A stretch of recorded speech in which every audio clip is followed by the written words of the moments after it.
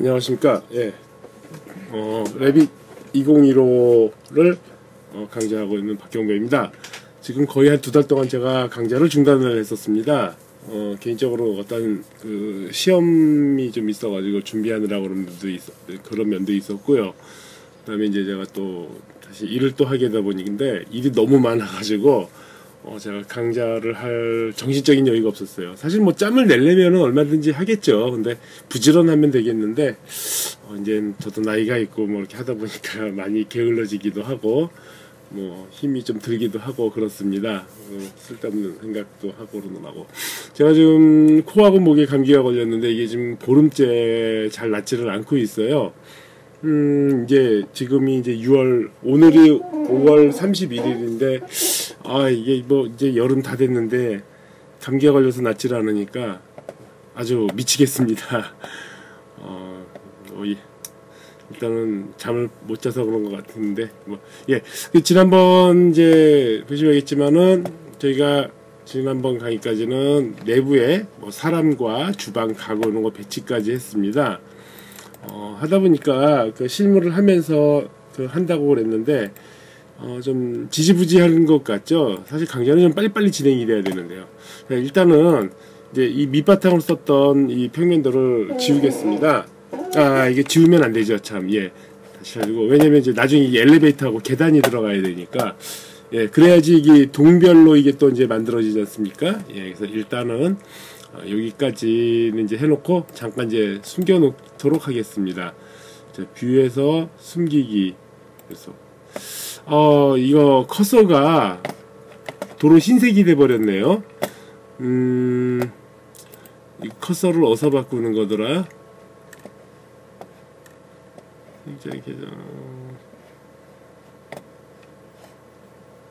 마우스 포인터 에어로 시스템 아 이거로 됐죠 예, 검정 특대 시스템 예 예전에 저의 그 청취 애청자분께서 이 커서가 잘 보이지 않는다고 해서 커서를 바꿨는데 그 사이에 조금 이제 변화가 있다 보니까 그렇습니다. 한 30분 정도 이제 인테리어 마저 더 하고 렌더링까지 하고 난 다음에 그 다음에 이제 새로 나온 그 레빗 2016에 대해서 한번 얘기를 해보도록 하겠습니다. 어, 우선은 자 지난번에 이제 식탁까지 넣었었고요. 어, 이번에는 이제 소파하고 뭐 TV, 장식장 뭐 이런 걸 넣었으면 좋겠네요. 어, 일단은 구성 요소로 들어가고 자 지난번 의자 배치를 했고요. 여기에 어, 없죠. 예, 없어요. 그 불, 패밀리를 불러와야 됩니다. 패밀리를 어, 가구에서 좌석, 예, 소파 2인용. 보통 3인용 하나를 이렇게 벽에 붙여서 놓는 경우가 많은데, 예, 이렇게 놓고, 그 다음에 ESC 키를 누르고 빠져나와서 요걸 선택한 상태에서, 자, 이렇게 90도 돌려주고, 자, 얘를 벽에다가 붙여주면 좋은데, 지금 이제 보시면 아시겠지만 자, 요 벽에다가 딱 붙일 때는 이제 이렇게 요거 요거 뭐 뭐였죠? 요 정렬 정렬로 해서 붙이면 이제 잘 붙겠죠. 예. 여기, 여기 는 뭐 자동으로 놔두고 자, 얘네들이 겹쳤지 않습니까? 그래서 이걸 옮기면은 여기에 또 사람이 있었잖아요. 그래서 그걸 보려면은 자, 단면 view로 이동을 해서 이 거를 같이 선택. 자, 이게 좌측에서 내려오면은 그 크로스 그 어떻게 돼서 크로스처럼 선이 지, 이, 이 저기 커서가 지나간 부분은 다 선택이 되고요. 예, 이렇게 자, 그 왼쪽에서 오른쪽으로 이렇게 움직이면은 그 사각형 안에만 여기 이제 배정이 되죠. 그다음에 이제 커서 키를 이렇게 이동을 해주면 됩니다. 예. 그러면 이제 같이 이동을 했습니다. 그래서 다시 이제 1층 평면도로 가서 보면은 네, 소파가 이렇게 돼 있고 그다음에 여기 이제 그 작은 그 거실장이 이제 들어가겠죠. 뭐 이거는 꼭 뭐 인테리어를 알고 모르고를 떠나 가지고 우리가 이 사는 보통의 집이 다 그런 모양이지 않습니까? 자, 테이블, 뭐, 이렇게 사무실 테이블밖에 없어요. 네.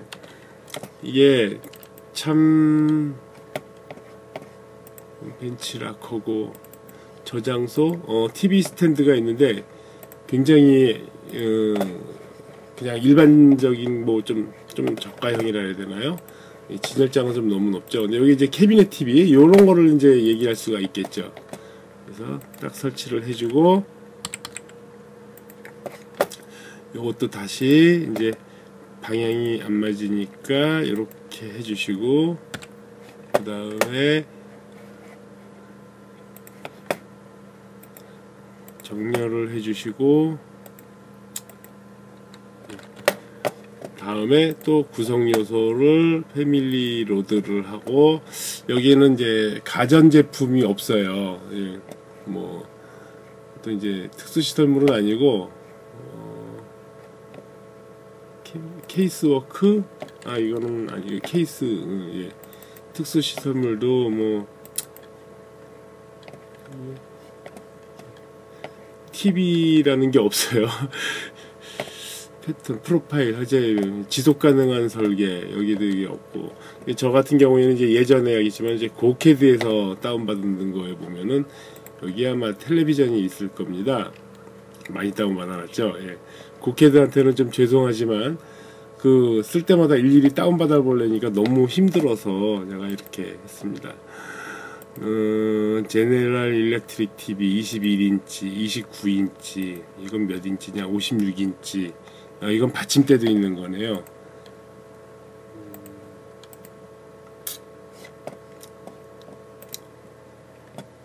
그냥 29인치 TV를 놓겠습니다. 아유, 씨, 저는 L, 저기, PDP나 LCD 뭐 이런 건 줄 알았더니 아니네요. 자, 이것도 회전을 해주고, 자, 여기서 새 호스트 선택을 한번 넣어볼게요. 새 호스트. 이게 선택이 되려나요? 자. 아, 이게, 이게 벽이나 바닥이 아니면은 호스트로 이제 지정이 안 되네요. 아까 이제 요, 요 단면을 보시면은 이 단면이 예, 요쪽 방향이었어요. 그래가지고 이제 단면 view로 view로 이동해서 보면은 이렇게 소파하고 요쪽 요쪽 그 어디야 다시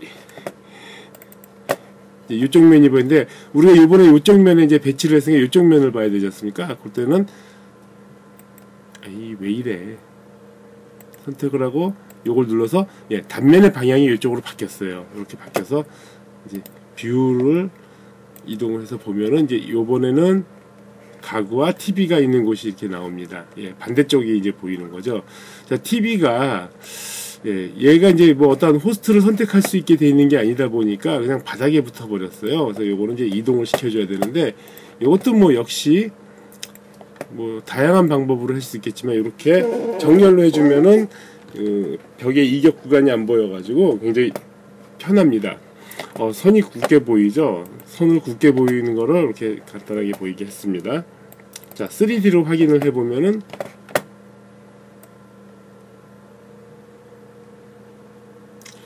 자, 이 장면이 어떤 장면인지 아시겠죠? 이거는 어, 쉽게 말하면 이제 우리 그 그 뭐 분양 사업소 같은 데가 보면 보이는 그런 이제 모습이죠. 제가 한번 재미있는 거 한번 시도를 해볼까요? 이게 되냐?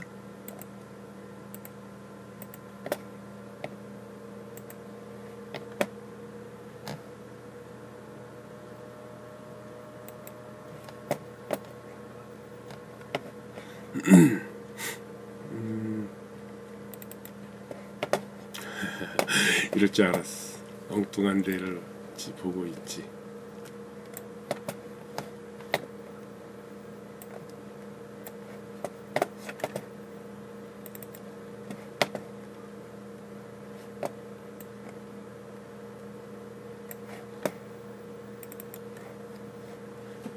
자, 이게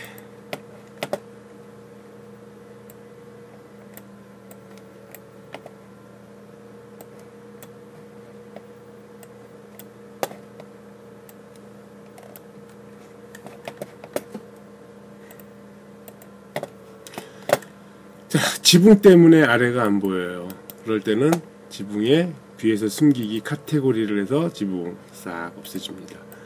예, 도면 밑바탕 이거 칼라로 불려가지고 되게 지저분하죠.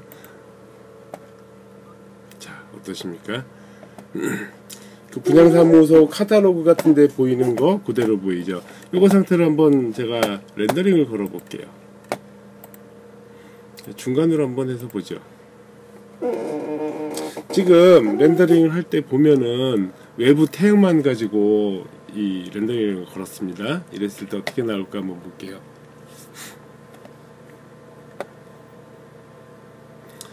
자, 이렇게 나옵니다. 이거를 외부 태양이 아니라 내부 인공 조명까지 해서 다시 렌더링을 걸어보면은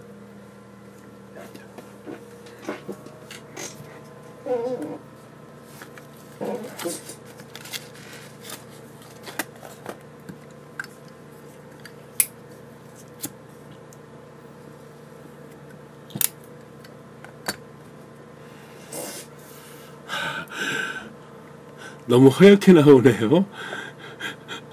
왜 그렇게 허옇게 나와? 조명이 너무 센가? 뭐, 뭐 노출 조정을 해서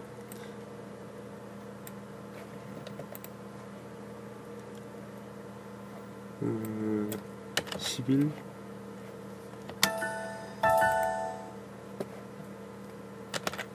보통 원래 보니까 한 12 정도 하기는 하더라고요. 예. 그 햇빛이 너무 강해서 이제 아마 이런 것 같습니다. 놓고 그러면은 그 원래는 이제 인공 조명에 대한 것도 이제 저번에 강의 시간에 아마 제가 말씀드렸습니다. 인공 조명만 가지고 한번 렌더링을 하겠습니다. 내부와 외부의 인공 조명의 차이에 대해서는 분명히 제가 말씀을 드렸습니다. 예, 실내에 있는 등만 켜지는 게 내부 인공 조명인 거고요.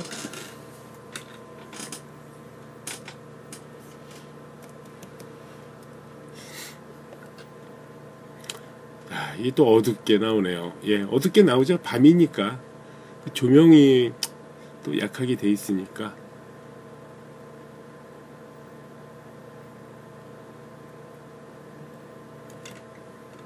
자, 이럴 때는 또 이제 여기서 노출 조정을 해줘서 아, 이 노출 값이 12 아유 어둡게 됐구나 7 아니, 5 정도 주고 일단 밝다. 7.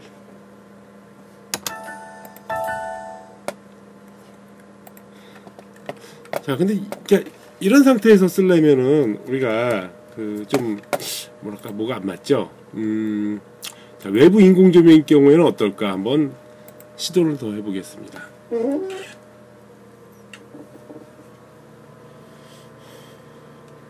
제가 이걸 하면서 어, 가장 이제 좀 아쉬운 점이라는 게 뭐냐면 작업을 하는 과정에 이 결말에 대한 예측을 할 수 예측을 할 수가 있어야 되고 그 예측대로 이게 딱 맞아 떨어져야지 되는데 그러지를 못해요. 외부 인공 조명을 했는데도 이제 내부 인공 조명이 또 이렇게 켜지는 걸로 나오네요. 이런 것들을 일일이 하면서 확인을 해줘야지 돼요. 어, 매뉴얼을 보면 뭐 더 알 수 있을까? 근데 솔직히 저는 그런 거를 별로 보시 예. 그 렌, 매뉴얼 같은 걸 아무리 봐도 별로 이렇게 쓸만한 내용이 없습니다. 아, 심지어는 이 키워드 이걸 가지고 물어보는데 아우 잘 안 되더라고요. 뭐 대표적으로 뭐 어, 유리 같은 거 수정하고 그러는 게 너무 힘들었어요. 저는 또 내부라 그러니까 이제 밝기를 7 뭐 이 정도 나오게 해가지고 그것도 이것도 되게 웃겨요. 이 노출 조정에 그 오토캐드도 그렇고 뭐도 다 그렇고 숫자가 높을수록 사실은 밝아야지 되는데 얘는 숫자가 높으면은 어둡고 이 이게 무슨 자기 딴에는 아마 뭐 좀 차별화 시킨다고 그런 걸 했는지 모르겠는데 얘네들은 좀 문제가 많아요. 예, 흉보는 거 이제 그만하도록 하겠습니다. 어쨌든 이제 이걸 가지고 잘 운영을 하면은 뭐 뭔가가 되겠죠.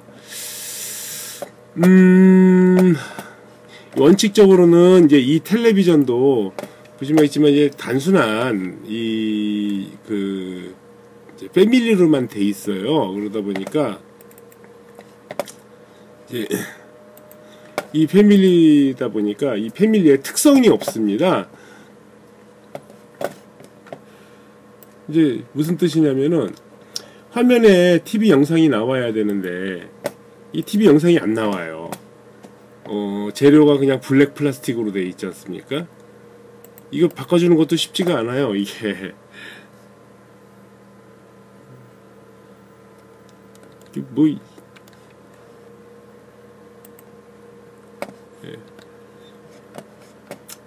그냥 닫아버리겠습니다.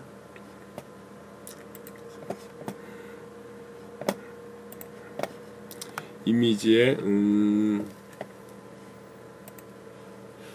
스크린, 스피커, support, 프레임, face material, black plastic, 이 rubber, rubber에 이 rubber로 되어 있네요. 이거를 이제 렌더링을 했을 때 기왕이면 이제 뭔가 이미지가 나오는 게 좋은데요. 어, 제가 이미지가 제 폴더에 좀 이상한 것들이 많이 있기 때문에 제가 잠시 어, 좀 조절을 좀 하겠습니다.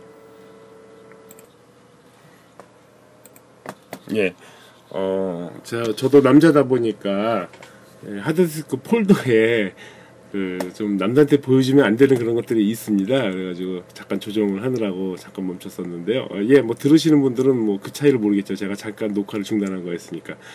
일단 어, 크리에이터 그래서 새 재료 작성 요거를 눌러줍니다. 기본값 새 재료로 나오죠.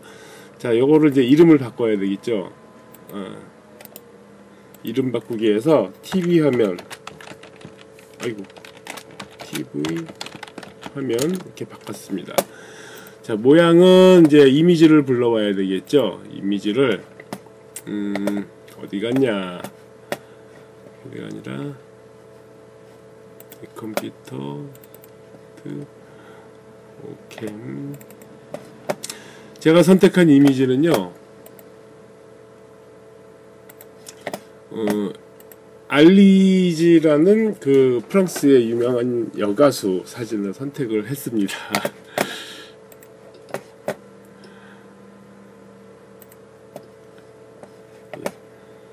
이게 아참 어,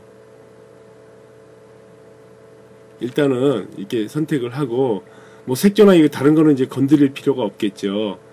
뭐 반사도는 조금 이제 있는 게 좋습니다. 왜냐면 이제 TV 화면이니까 아무래도 반사가 되지 않습니까? 적용을 하고 확인을 했습니다. 사이즈는 이제 확인을 해봐야지 됩니다. 적용을 하고 확인을 한 다음에 어 view를 잡아야 되겠죠. 카메라를 해서 자 부엌에서 이쪽을 바라보는 모습 예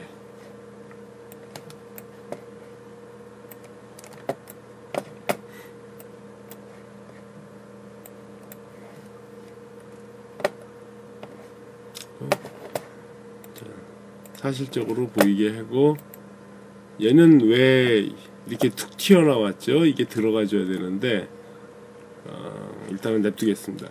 이게 이제 여기서 고려해야 되는 부분이 뭐냐면은 이 그 family가 자체 구멍을 뚫는 어, void가 이제 내포가 돼 있으면은 이 천정에다 박아놓으면 천정에 자동적으로 구멍이 뚫립니다.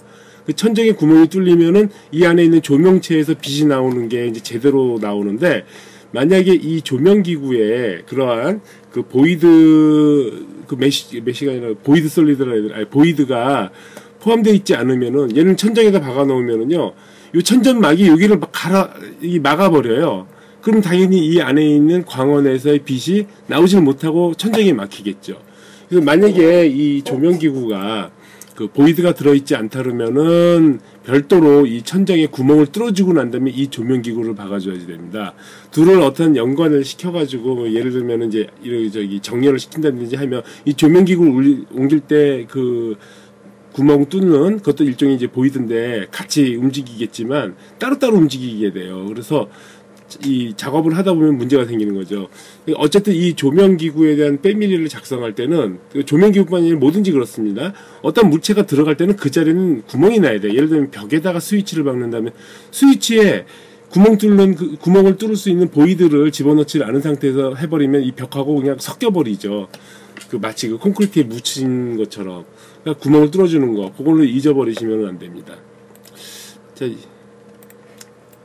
얘는 이제 이 바닥이 자꾸 나타나요. 근데 지우기는 좀 그렇고 자, 이 텔레비전에 이게 아, 참 엉뚱한 데 들어갔네요. 예.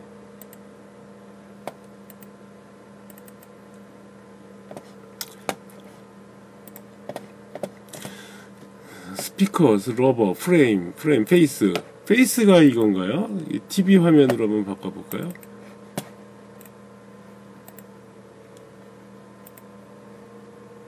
아니네요. face는 이걸 face라고 그러네.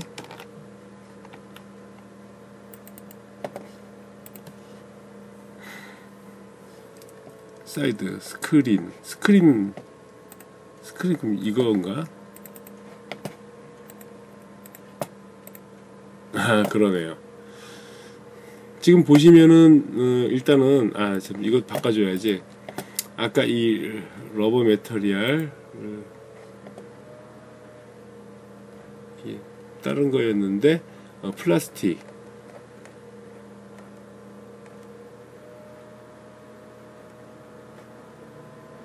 플라스틱 검은색이었었죠? 맞나? 뭐 맞다고 치죠? 아, 적용됐고 자 이미지를 이렇게 보시면은 이제 네 개가 떴다는 건 뭐냐면은 지금 이제 크기가 4분의 1이라는 소리일 거예요. 그럼 당연히 재질을 바꿔줘야 되겠죠. TV, 아이, 왜 이래?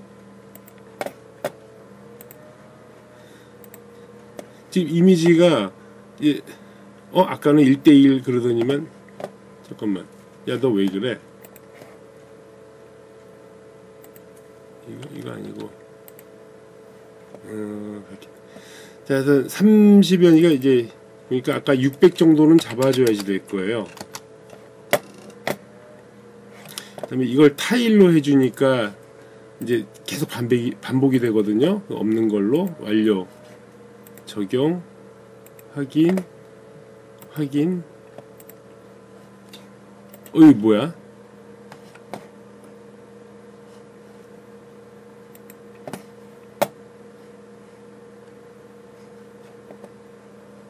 음 복제 복 아니 복제가 아니라 TV 화면 센터로 왜 안 갔지?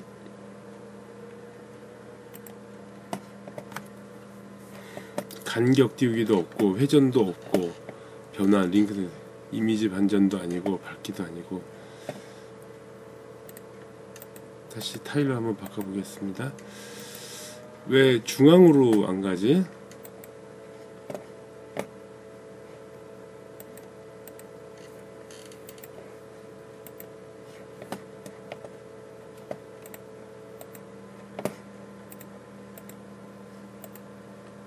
뭔가가 뭔가가 좀 마음에 안 드는데요. 이게 3D Max 같은 경우에는 이 위치를 조정해 주는 게 있어서 그걸로 맞추면 되는데 어 얘는 제가 그걸 잘 모르겠어요. 어쨌든 뭐 이미지를 간격 띄우기 축척은 됐고 건 아닌 것 같고요.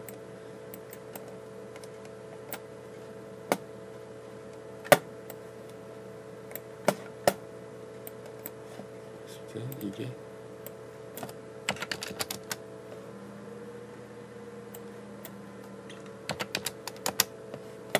이렇게 하면은 되려나? 그 다음에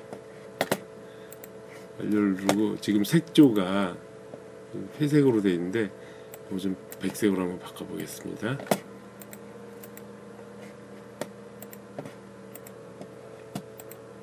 아 이제 이렇게 들어오게 들어오네요. 여기서 이제 뭐 렌더링을 한번 걸어보겠습니다. 중간으로 놓고 일단 보니까 아 진짜 아니 아니 그냥 가. 제가 원래 내부 조명도 켜야 되는데 내부 조명을 신경을 안 썼네요.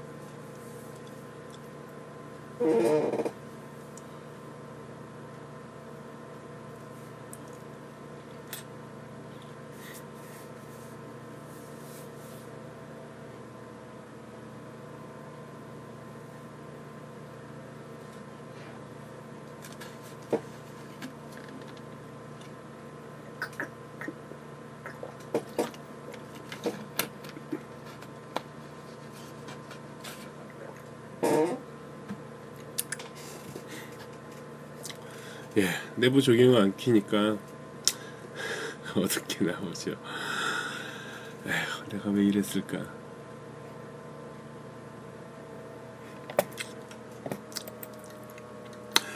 내부 태양 및 인공 조경에서 다시 렌더링을 겁니다. 렌더링을 걸면은 또 높게 나오겠죠. 아니 높게 하는 게 시간이 걸리겠죠. 이렇게 하면서 벌써 뭐 30분이나 잡아먹었는데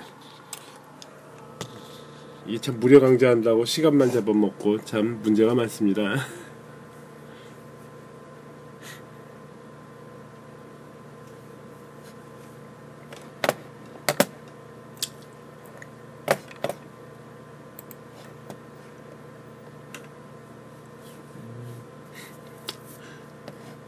예, 음, 렌더링을 할 때는 보시면 설정을 중간에 놨지 않습니까? 높게 하면 더 높게 나온다는 걸 말씀드렸죠.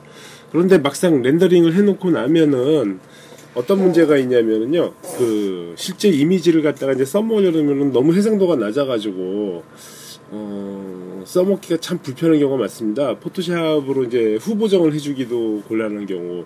그럼 왜 그러냐면 보시피 지금 보시면 980, 818 픽셀이지 않습니까? 이게 이제 되게 재미있는 게 뭐냐면 사이즈는 이제 결국 이걸 가지고 합니다. 우리가 보통 쓰는 그 17인치나 아니면은 19인치 모니터인 경우에는 보통 가로가 1024, 768 정도 픽셀을 사용을 합니다.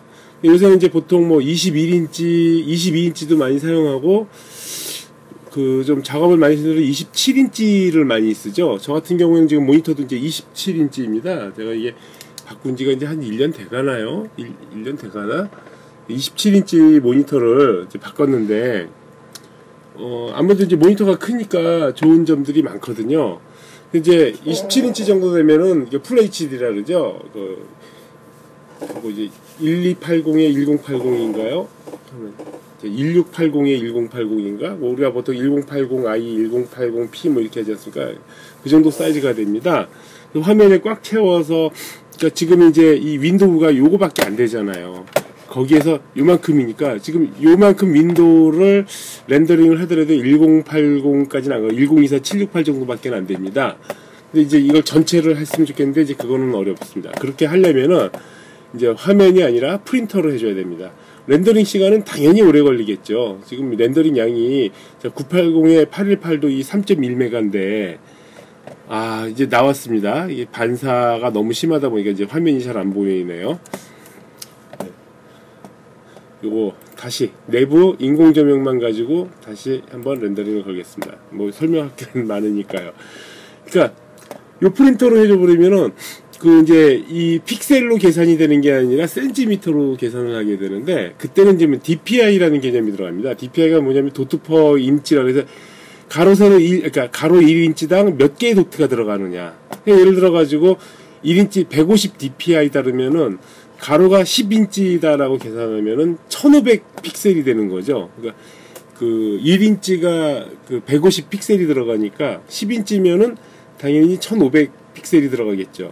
그럼 지금 여기 보시면 알겠지만 폭이 908이니까 1500이니까 거의 두 배 가까이 되는 겁니다. 그러니까 시간도 그만큼 두 배 가까이 들겠죠. 근데 이게 이제 두 배만 늘느냐? 아니죠. 왜냐면 가로만 그러고 세로도 그만큼 늘어나지 않습니까? 예, 그래서 이 프린터라는 건 뭐냐면 프린트를 하기 위해서 고해상도로 뽑는 거라고 보시면 됩니다. 지금 화면으로 하는 거는 빨리 해서 이제 보기 위한 겁니다. 저도 이 작업을 해서 최종 결과물을 낼 때는 그냥 이미지로 만들 거고 뭐 이미지로만 첨부시킬 거면 당연히 그냥 화면으로 해버리는데 뭐 이제 블로그에 포스팅하거나 그런다 그럴 때또 이렇게 강좌할 때는 이렇게 하는데 이게 출력 결과물로 출력을 해서 인쇄를 해야 되는 거라면은 이제 당연히 이렇게 안 하죠. 예, 당연히 그 프린터로 해가지고 고해상도로 뽑아냅니다. 그러면은 제 컴퓨터에서도 보통 3시간에서 5시간 정도 렌더링을 합니다. 한 장면을 만들기 위해서.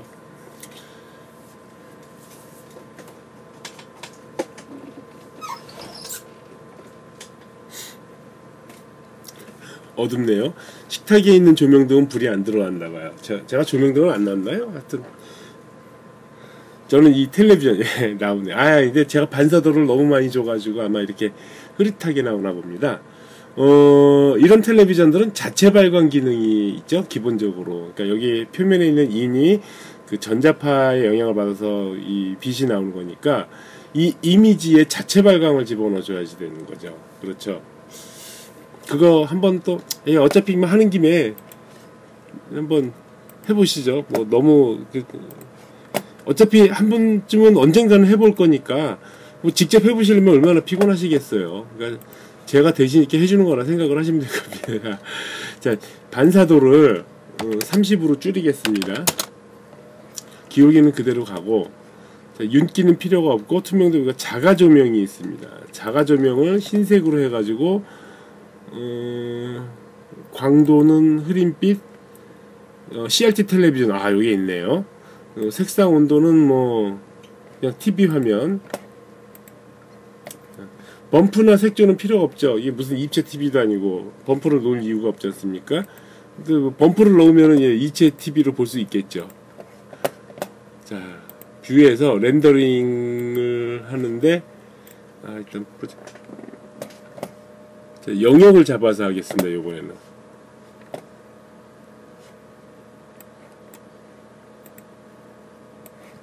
저 왜냐면 이제 우리는 이 텔레비전만 볼 거니까.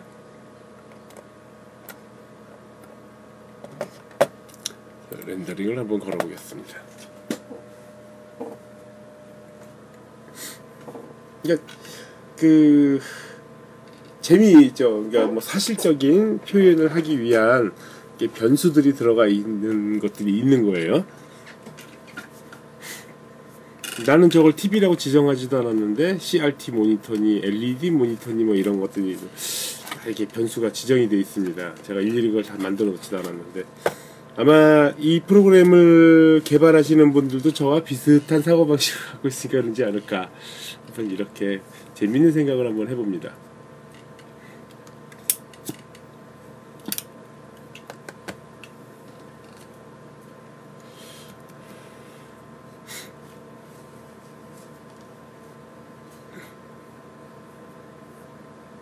음, 뭔가가 이상해. 에이, 너무 날라간다. 그쵸? 텔레비전에, 이거, 이제, 이 Revit을 제대로 하려면 저리 앉아가지고 이런 세세한 조정도 해줘야 됩니다. 근데 이제, 실무에서 적용을 하면은, 이제, 특히, 프로젝트 매니저가 옆에서 볼 때는 한심해 보이죠. 하루 종일, 아니,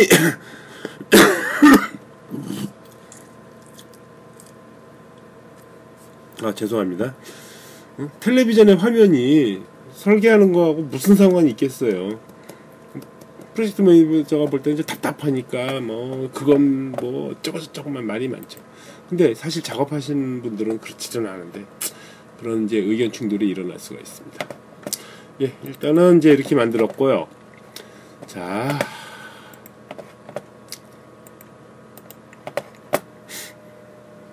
음, 숨기기 해제 요소로 들어간 다음에 자, 이번에는 이제 동을 이제 만들어 봐야 되겠죠. 지금 전체를 다 살려놨습니다. 아, 전체 혹시 감춰진 게 있는지 없는지 확인해 보면 지금 감춰진 건 없는 것 같아요. 감춰진 거는 이제 이걸 눌렀을 때 진하게 빨간색으로 나오는데 없는 거 보니까. 자, 일단은 그동안 이제 작업했던 것들을 해놓으려고 하니까 어, 이렇게 하면 되겠죠. 이게 중심선이니까. 자, 요게 이제 미러입니다. 미러로 해서 요 선을 딱 선택을 해주면은 시간이 걸리는데 똑같은 게 이렇게 미러링이 돼 버립니다. 3D로 이렇게 보시면은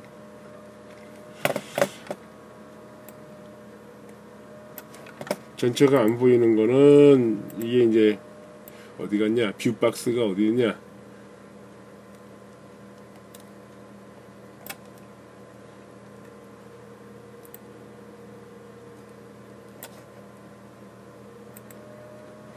아, 아, view box로 제가 이제 이거를 줄여놨죠. 이렇게. 예. 일단 이렇게 키워놓겠습니다.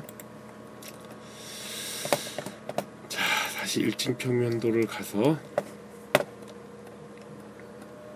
여기가 벽입니다. 우리가 그때 벽을 뭐냐면 기본 콘크리트 벽으로 했었네요. 다시 벽을 기본 벽. 그래서 이게 아마 외부 180mm로 되어 있을 겁니다.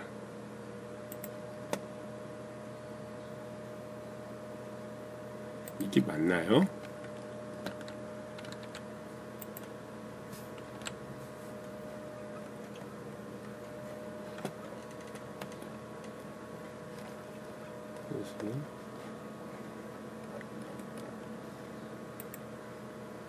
아 내가 타일로 되어 있네. 이, 이, 이 벽을 안 썼던 것 같은데요. 이름도 이게 좀잘 정해 아 이, 이거구나. 아, 맞구나. 이게. 예 밖에가 이제 있고. 자 여기도 이제 벽을 이제 벽의 방향도 되게 조심해야 됩니다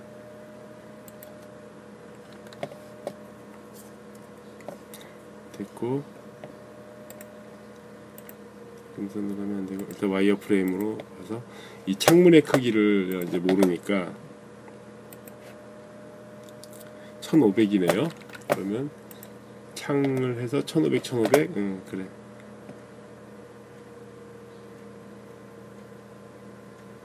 방향이 맞나? 일단 찍어요. 어, 뭐, 예.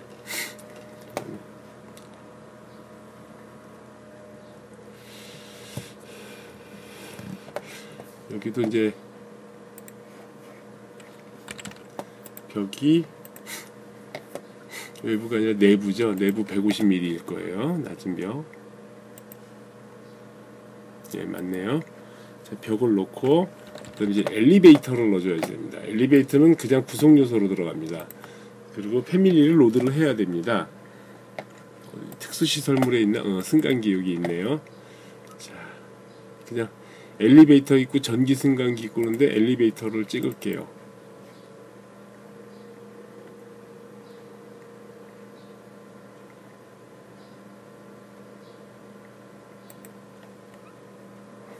어떻게 얼추 맞네요. 그 다음에 여기는 이제 슬라 이건 어, 여기 또 문이 또 2, 차 문이 있군요. 그럼 이제 또 벽을 넣어줘야죠. 이게 콘크리트 벽일까요? 콘크리트 벽은 아닐 것 같은데 일반 100mm일 것 같으니까 그냥 100mm로 경량판일 텐데 일단은 뭐 만들어주고 자 문 사이즈를 알아야 되겠죠 어, 문 사이즈. 이것도 1500이네요. 그럼 문은 양면 도어 미닫이가 아니라 여닫이지 않습니까? 여닫이죠? 여닫이가 load 된 게 없으면 또 family를 load를 해야 되겠죠? 문. 양면 양여닫이 어, 저기는 갑종 방화문으로 돼 있을 거예요. 왜냐? 이제 계단 그 방화 구역이니까. 아 근데 2천이네요. 양 자, 없으면은 만들어야지요. 복제를 해서 가로 1500 그래서 높이는 그대로 가고 요거를 1500 하게 그래서.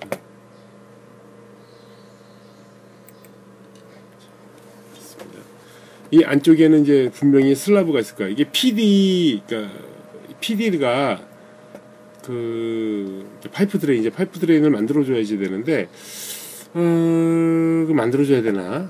아, 지금은 귀찮으니까 네. 나중에 이제 사실은 다 조정을 해줘야지 돼요.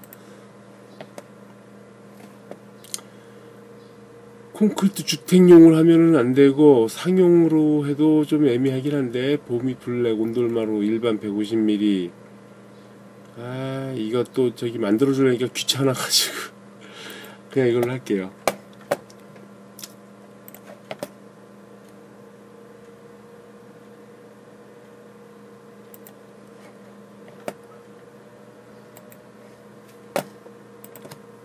여기서 이제 나중에 이제 이 PD를 만들니까 실무에 적용을 해서 할 때는 이 PD 구멍 다 뚫어줘야 됩니다. 안 그러면 물량 산출이 틀려져 버려요.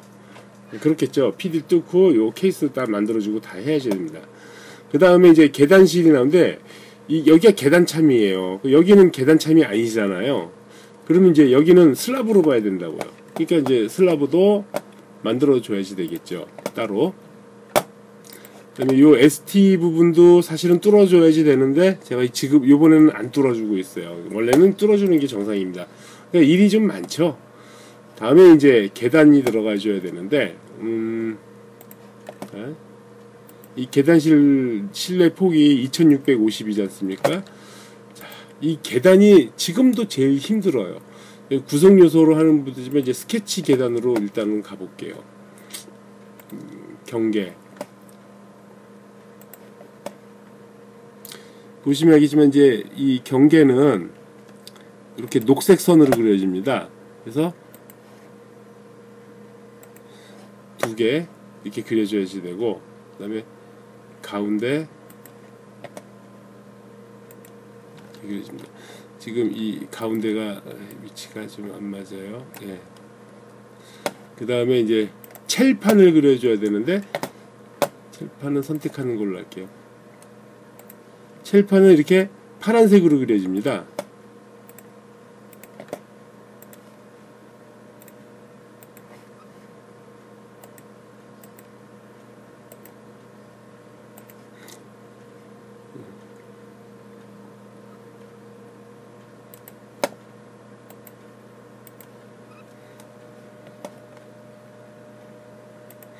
여기도 아마 이게 요색으로 그려져야 될 거예요. 그 다음에 이제 결정적인 게 얘를 끊어줘야지 되는데 얘가 이제 두 개로 잡혀야 될 겁니다. 이게 맞는지 한번 보겠습니다.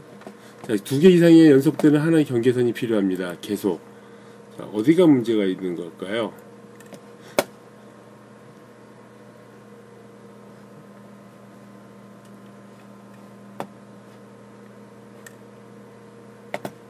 얘인가? 다시 이런 메시지. 두 개 이하의 경계 연속되는 하나 이상의 경계선이 경계 두 개가 맞는데? 아, 일단 계단 취소를 하고. 저는 이게 항상 계단 그릴 때마다 너무 피곤해 가지고 힘들어요. 그냥 이걸로 한번 해보겠습니다 1300으로 잡고 간격대비고 계단 진행 중심이 아니라 어, 왼쪽 지지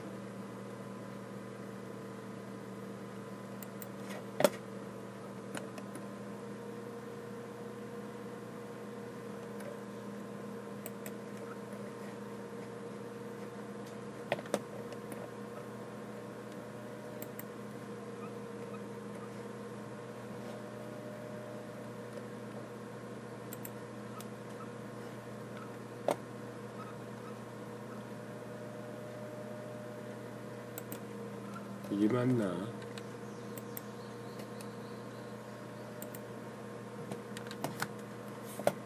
지금 이제 이렇게 뭐 진행 방향은 맞는 것 같은데요. 일단 한번 보겠습니다.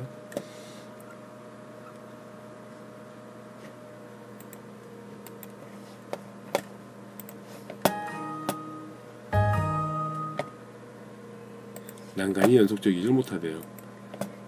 뭔 개소리야? 좀 더 올려보겠습니다. 어 아니지.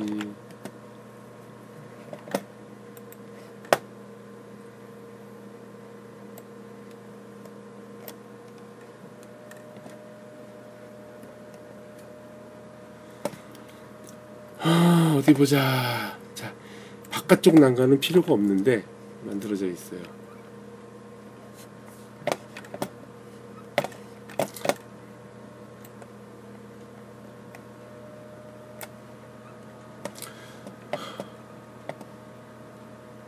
일층 평면도 왜 지붕 평면도가 복사가 안 됐지?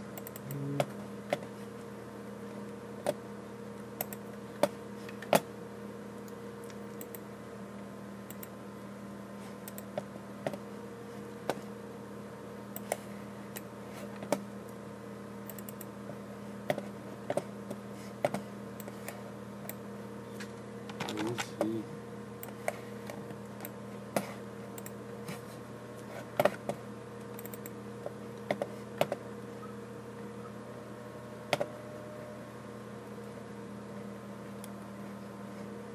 이 윗부분이 지금 복사가 안 됐어요. 어, 계단은 아니고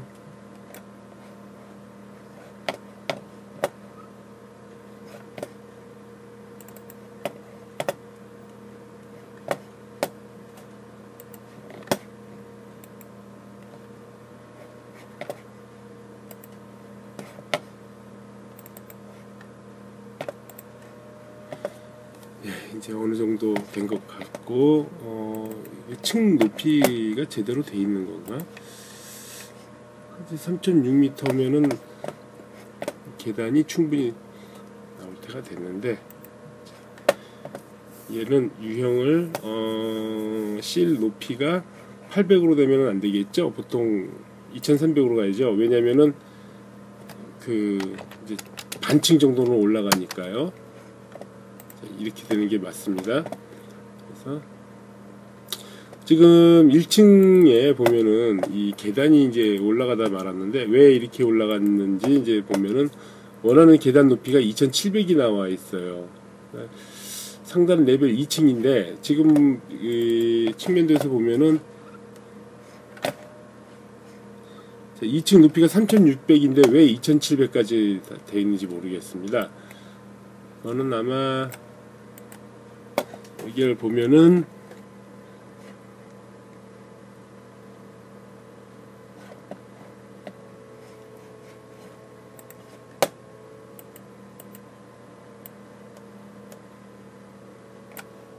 디드편 깊이 240, 250, 칠판 높이 원하는 칠판 수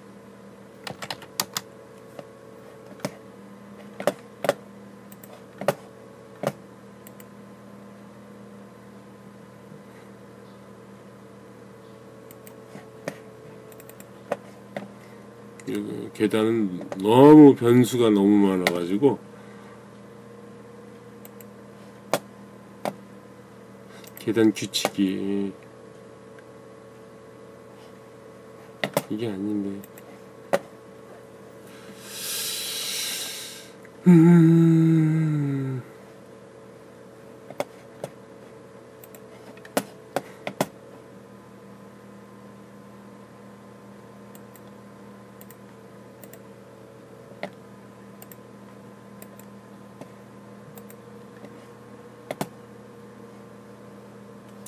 자, 어떤 문제가 있는 걸까요?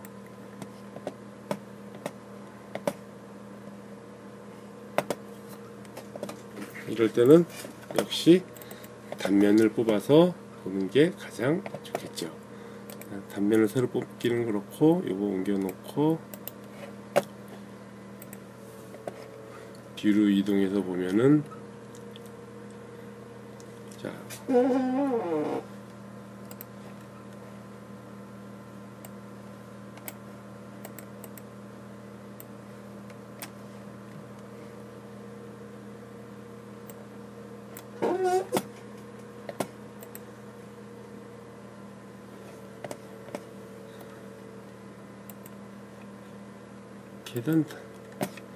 요- 여기가 좀 뭐가 안 맞는 것 같아요. 어,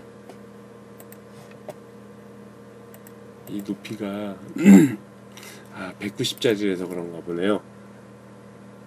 요거는 이제 그 뭐랄까 뭐랄까 어쨌든 이제 새로운 이제 여러 가지 요소를 만들어 줘야 될 겁니다. 일단은 이제 그 연속 다층은 안 하고 다층은 이제 뭐냐면은요 그 한 층만 하는데 여러 층일 때 계단을 층마다 층마다 만드는 거는 힘드니까 이거를 이제 복사해서 쓰기는 하지만은 그냥 그 아래부터 위까지 그러니까 뭐 여러 개 층을 만들 것이냐 한 층짜리만 만들 것인가를 이제 정해주는 게 바로 이 다층 요 상단입니다. 그래서 없음이면은 그냥 한 층만 만들어 주는데 이제 이 어디까지 할 거냐 이제 마치 이렇게 이 벽체처럼 만들어 줍니다.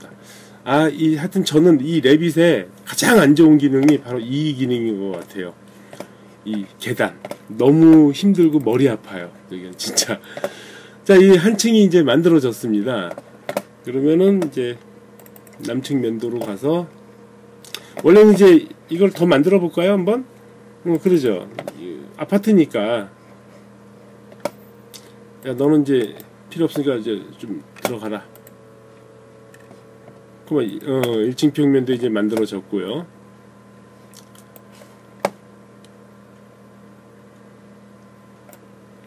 자, 이게 아까처럼 천정이 어, 안 들어가는 부분이 있으니까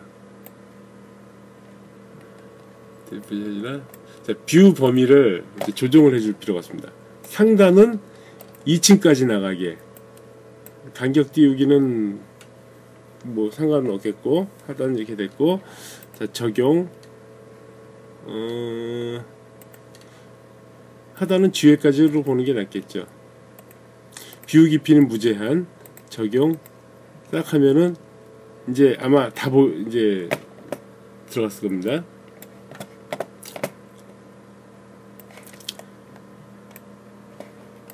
자, 이게 쓸데없이 이제 인면 표시까지 선택이 돼 버리네요. 자, 자꾸 복사를 하는데 중심선을 딱 잡아버리면은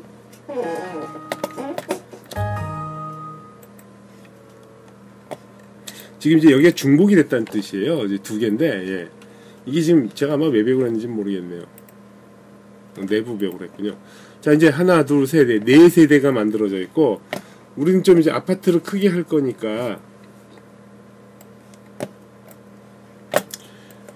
여덟 세대를 만들어 보도록 하겠습니다. 세대를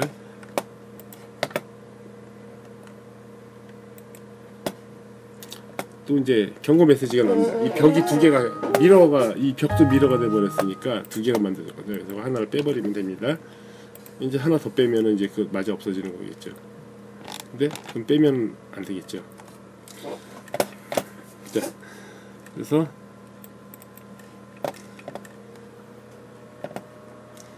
(3D로) 보면은 여기 또 막혀 있겠죠? 당연히. 이만큼 빼겠습니다. 더 빼야 되겠네. 너무 뺐네요. 그 다음에 이제 위로 좀 올려야 되겠죠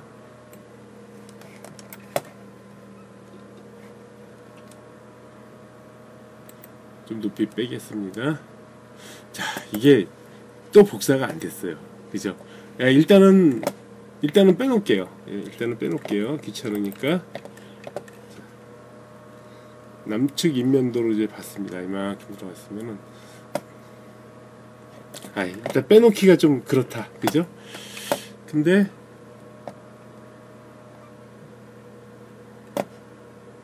창문은 선택이 됐는데 창호는 선택이 됐는데 나머지 천정제랑 뭐 조명이랑 뭐 이런 것들이 선택이 안 됐어요. 아까 여기까지가 된 거죠.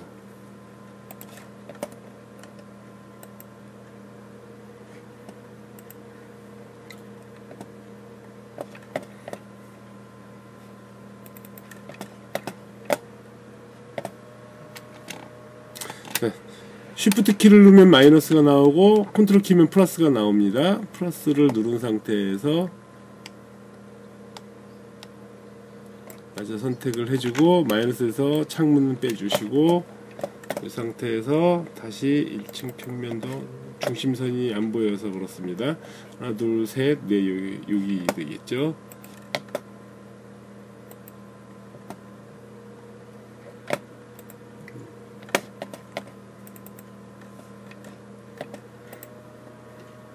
자 이렇게 복사가 됐습니다. 자, 남측 면도로 가서 이번에는 전체를 다 선택을 해주고 여기서는 이제 복사를 해줍니다. 여기 복사 메모리로 복사를 합니다. 자 붙여넣기를 합니다. 붙여넣기는 이제 선택한 레벨의 정렬 하는데 지금 보시면 있으면 3층까지밖에 없어요. 내가 원하는 거는 10층인데 15층짜리 아 15층짜리는 해야 되는데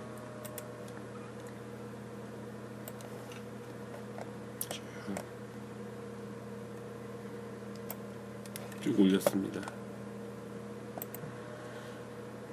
어? GL 1층 아 1층 바닥이죠. 자 이름을 바꿀게요.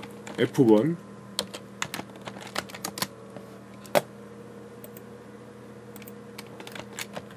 F2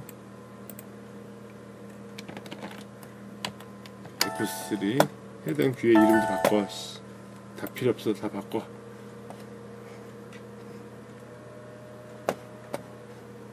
자 레벨 2.7m죠? 음, 2.7m가 맞죠?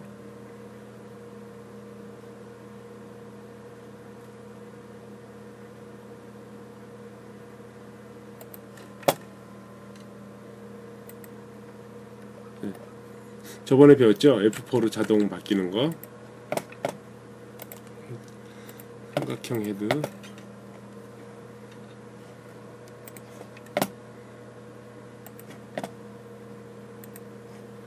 F5 아, 귀찮으니까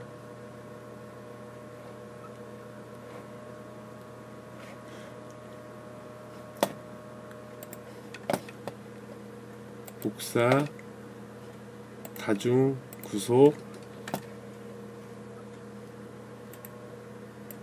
F6, F7, F8, F9 10, 11, 12, 13, 14, 15까지 올렸습니다. 지붕 더 올려야 되겠네요. 지붕 일단 아주 높이 올리겠습니다. 그 다음에 정렬 치수를 넣습니다.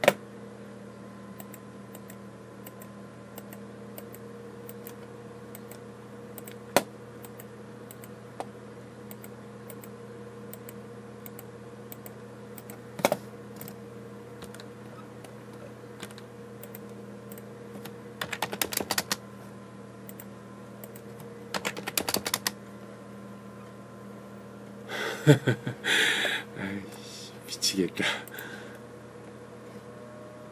야 좀 올라가라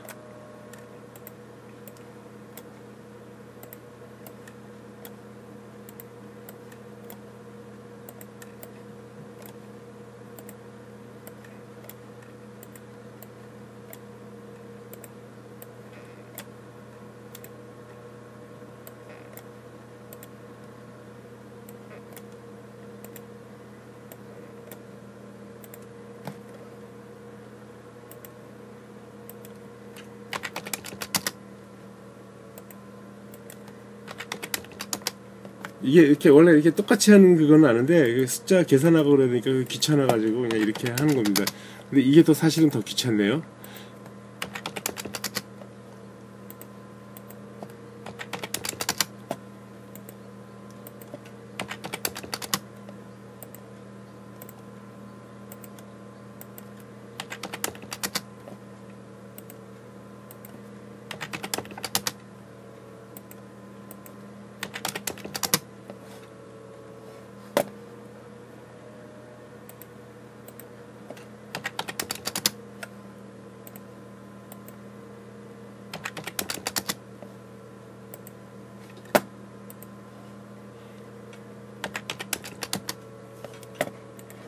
어, 42m나 되는구나. 자, 아까 1층 복사 다 했었죠?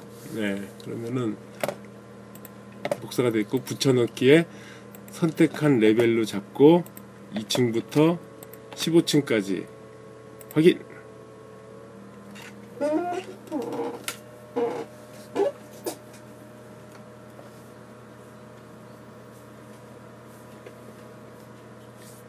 아따 드디어 이제 메모리에 영향을 얻기 시작하나요?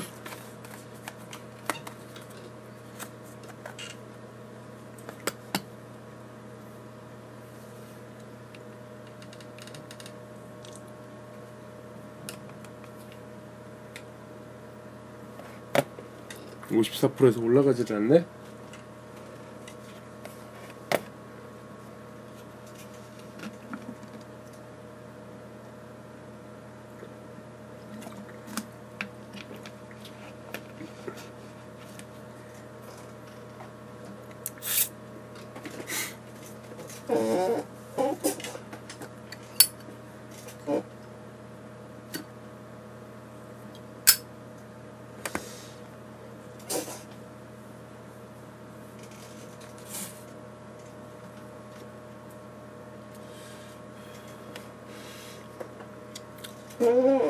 자, 이 엄청 이 엄청 좋은 컴퓨터에서도 이렇게 엄청나게 시간이 걸리는 거 보니까 이 데이터 양이 이 장난이 아니라는 것을 아시겠죠?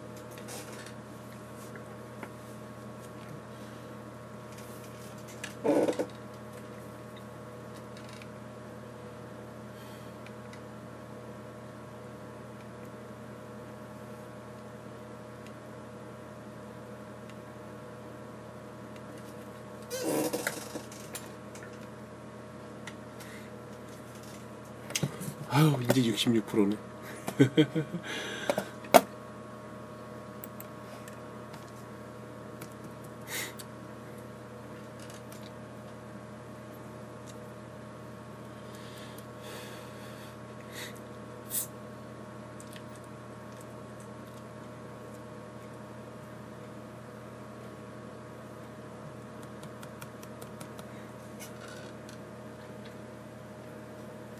그래서 이제 보통 그 PM들은 생각을 할 때 이렇게 생각을 합니다. 이게 오래 걸리니까 지금 이제 이렇게 카피하는 것도 오래 걸리는데 이거 수정할 때마다 리프레시하고 뭐 불러드리고 뭐 하고 할 때보다 얼마나 시간이 오래 걸릴 거예요. 그러니까 아이고 내물은 다 필요 없고 따로 따로 따로 하는 게 어때? 막 이런 식으로 막 그러니까 시간을 단축할 것만 생각을 합니다. 우리가 그 산업공학적인 차원을 너무 많이 생각을 합니다. 어 고등학교 때 이제 보통 보면은 기술 분야가 아닌 상업 분야에서 다루던 그 부분이죠. 학교에 이제 대학에 가면 공대에 산업공학이라는 학과가 있잖아요. 거기는 이제 경영 뭐 이런 거하고는 관련이 있죠. 실제적인 기술이라기보다는 이제 아유, 이게 뭐지? 음, 아이 뭐 넘어가 상관없어. 그래서 이제 그런 그 산업공학적인 측면에서 본다면은 작은 시간에 빠른 시간 내에 이렇게 하는 거예요. 야, 이제 대형 아파트 한 채가 이렇게 나타났습니다. 이거를 빠른 시간 내에 이제 처리하는 거에 급급합니다. 실제적인 과정은 생각을 안 하고 이렇게 이제 그냥 속도면 뭐 얼마나 빨리 해야 되나, 얼마나 적은 인력을 투입해야 되나, 얼마나 뭐 이런 것만 고려를 하다 보니까 사실 그 한계라는 건 뭐냐면은 과투입을 해도 불가능한 부분들이라는 게 있는데 그런 거에 대한 이제 인식이 많이 부족을 합니다. 이제 PM들이 이걸 딱 보고 있으면 이제 답답하죠. 야 옛날에는 저런 게 없었는데 왜 더 컴퓨터도 좋아지고 기술도 발전했는데 왜 더 느려졌어? 이딴 소리나 하고 앉아 있죠. 자기 딴은 늦어진 거지만 사실은 이게 엄청나게 빨라진 거죠. 어, 제가 이제 지금 강의를 하면서 지금 여기까지 오는데 아마 한 6, 7시간 정도 걸렸, 8시간 정도 걸렸을 거예요. 8시간이면 하루 일하는 분량이죠. 물론 쉬지 않고 일했을 때. 하루 만에 아파트 한 동 설계가 끝난 거예요, 지금. 그 옛날에 이 아파트 한 동 설계를 하려면 이게 하루 만에 됐습니까? 여러 명이 말라붙여서 여러, 여럿이 했죠. 뭐, 안 그랬다는 사람들은 솔직히 말씀하셔서 가슴에 손을 얹고 얘기해 주십시오. 도면의 품질이 개판이었죠. 응? 아구도 하나도 안 맞고, 그냥 다른 거 갖다 서 급급하게 베껴 쓰기 바빴고, 아니라고 얘기를 할지 모르지만요. 저도 이제 어떻게 하다 보니까 이제 건물주가 됐습니다. 물론 그 건물은 이제 뭐 한 30년이 넘어 40년 정도가 된 거래 가지고 그 좀 오래됐긴 했지만은 그 건물에 대한 도면을 제가 볼 수가 없어요. 그리고 그 건물을 도면을 갖고 분석을 할 수가 없어요. 우리 솔직히 가슴에 손 얹고 생각하십시오. 과거에 내가 설계를 했던, 내가 시공을 했던, 내가 디자인했던 건물에 대해서 제3자가 도면만 가지고 그 건물의 구조라든지 모든 걸 이렇게 파악할 수 있다고 생각을 하십니까? 어, 안 되죠. 아, 도면만 보는 거는 또 될 수도 있는데 그 똑같은 거를 다시 또 설계를 할 때 할 수가 있냐고요. 안 된다고요. 제, 오죽하면 제가 예전에 아파트에 살 때 그 아파트 그 구조 보강이나 뭐 이런 부분에 대해서 상의해서 하기 위해서 구조팀에 A4 A A4가 이제 A0죠. A0 사이즈 원도를 가지고 직접 들고 회사에 가 가지고 그걸로 내가 상담을 받은 적은 있습니다. 그나마 그것도 캐드 도면도 아니고 그냥 청사진 들고 갔으면 그 정도밖에는 안 돼. 근데 이 Revit은 Revit이라기보다 BIM은 그런 거하고는 차원이 다르죠. 그렇죠? 솔직히 막말로 그때도 어느 정도 됐으니까 그렇게 해주고 내가 제가 나중에 그 캐드 도면을 요청을 했었는데 그 설계했던 사무실에 자기네 가지고 있지를 않대요. 보존을 안 하고 있대요. 또 보존을 한다 하더라도 이미 다 뭐 CD나 뭐 이런 게 고장이 나고 뭐 이래가지고 찾지 또 어디 있는지 찾지도 못하고 대형 설계 사무소는 자료 관리를 거의 안 해요. 못 해요. 워낙 양이 많아서. 그러니까 그걸 어떻게 하느냐? 그냥 그냥 복사 백업만 해놓는 거죠. 그거를 찾을 때는 못 찾아요. 지금 그러고 있습니다. 그래도 혹시나 해서 그걸 보관을 하는데 보관하는 이유는 딱 하나예요. 나중에 법적인 문제가 됐을 때 법정 증거 자료로 제출할 때 그때는 찾거든요. 밤새면서라도 며칠이 걸리더라도 증거로 제시를 해야 되니까 그거 이외에 활용을 하기 위한 거는 절대로 안 찾죠. 왜? 그 시간이 너무 오래 걸리기 때문에. 자, 이거는 지금 이 상태에서 이게 view 이동도 안 됩니다. 너무 많아서 그래요. 어쨌든 그럴듯하게 아파트 일반적인 아파트 이렇게 보이는데 자 요즘 아파트들은 옛날하고는 다르죠. 입면에 대한 디자인도 굉장히 많이 신경을 씁니다. 특히 한 동짜리는요. 그렇기 때문에 지금 이제 이런 식으로 만들어서는 실제적으로는 이제 활용하기가 조금 애매합니다. 그래서 사용하는 방법이 사실은 있습니다. 어 저도 이제 약한 부분이었다. 요번에 이제 프로젝트를 하면서 이제 새로 이제 알게 된 부분들인데 어, 지금 제 생각에 이 한 동짜리 이거 하나 만들고 나서 이렇게 버벅거리고 앉아 있는데 여기에 도로, 주차선, 주차장, 그 다음에 관리동, 그 다음에 주변 조경 이런 것까지 집어넣는다면은 정말 힘들지 않을까요? 어, 뭐 그렇게 생각을 안 할 수도 있겠지만 사실은 다루기가 굉장히 힘들 겁니다. 자, 제가 컨트롤 Z로 다시 원상복귀를 시킵니다.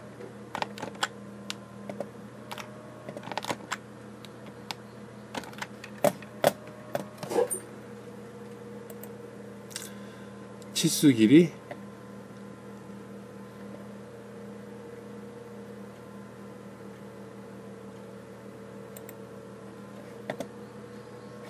자, 요거는 뭐냐면 그동안 그 진행했던 것들, 그러니까 되돌리기, 요거는 앞으로 가기, 요거는 이제 backward 뒤로 돌아가기인데 리스트가 쫙 나니까 한 번 이렇게 확 이렇게 진행이 한꺼번에 확 될 수가 있습니다. 예.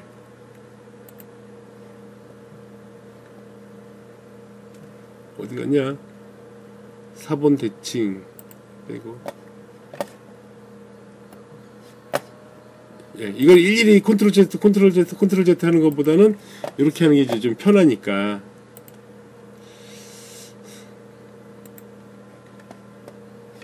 그리고 너무 앞서 나간 거 아닌가?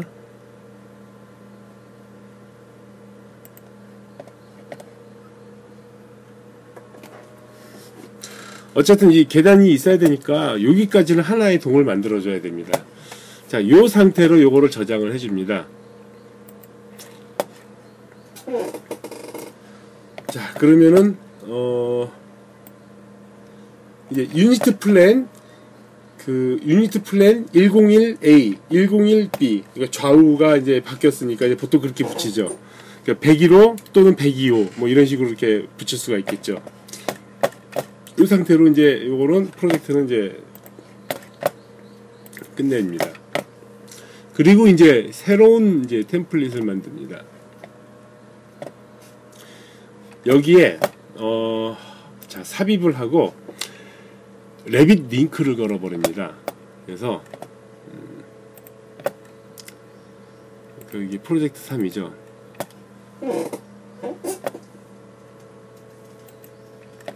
아, 배치되어 있고 1층 평면도로 이제 왔습니다. 자, 지금 하는 거는 이제 뭐냐면은 마치 그 블럭처럼 하나의 블럭으로 이제 형성되는데 이건 블럭이 아니라 AutoCAD의 Xref 같은 그런 의미 그 의미입니다. 이게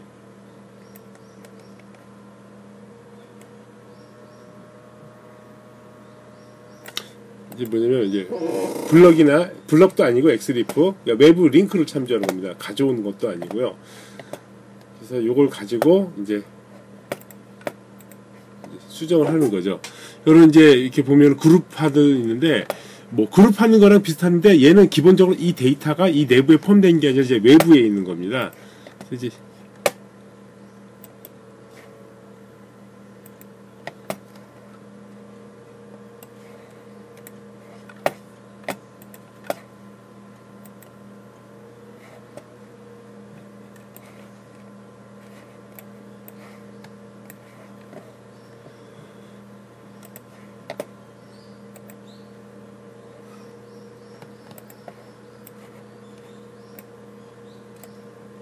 자, 둘, 넷, 여섯, 둘, 넷, 여섯, 여덟, 열, 십, 열두 세대짜리가 이제 한 덩이 만들어진 거고요.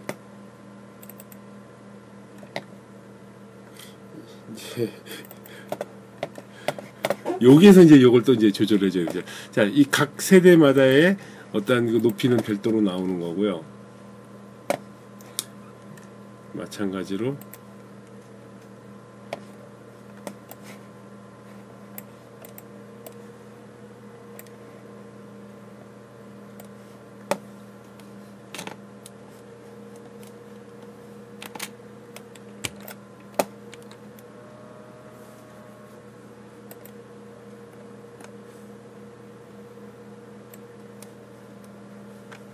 음,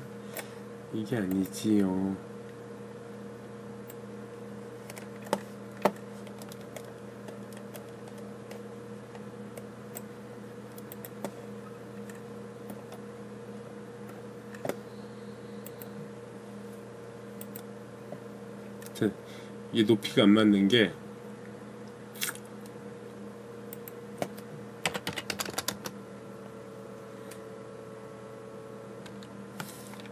왜 높이가 안 맞을까요?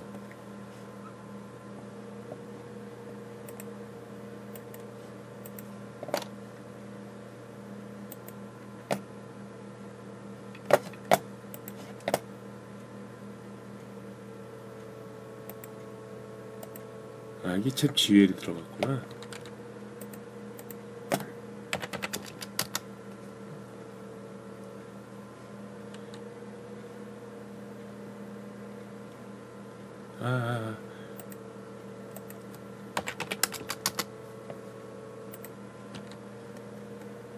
일층도 2700이었구나. 제가 잘못 알았네. 아까 3700일 줄 알았습니다.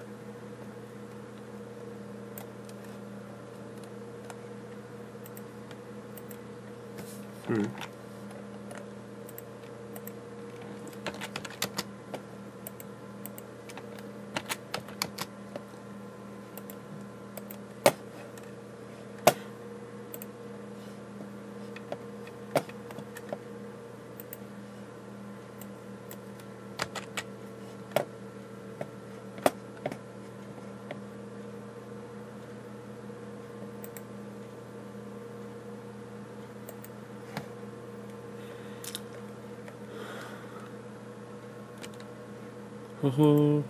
자,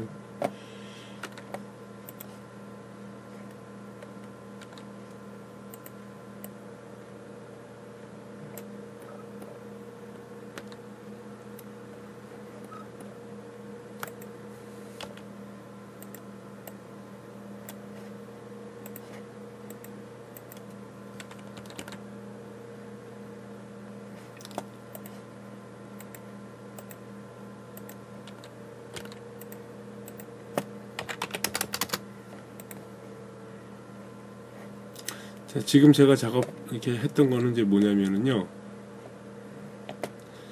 2층까지 해놓고 이제 3층 할 때 이게 어레이입니다. 어레이를 눌러가지고 이거를 선택한 상태에서 아니 잠깐 이걸 선택한 상태에서 어레이를 누르고 어, 수직으로 해서 총 항목 수는 뭐 한 10개면 10개, 15개, 15개 해놓고 구속으로 해놓고 이제 이동 위치는 마지막으로 갈 거냐 두 번째로 갈 거냐 이건데 이제 마지막으로 하는 건 뭐냐면 최종 목적지를 까지 움직이면 그 사이에 끼어 들어가는 거고 두 번째 거는 뭐냐면 일정한 간격으로 갈 때는 첫 번째 것까지의 간격을 딱 정해주면 이렇게 자동으로 쭉 그 개수에 맞게 올라가는 겁니다. 그래서 이렇게 맞췄습니다.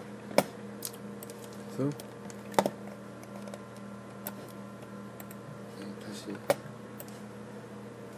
아 죄송합니다. 다른 것들도 조절을 해줘야지 되는데 제가 조절을 안 해줬어요. 레벨을 조절을 해줘야지 되는데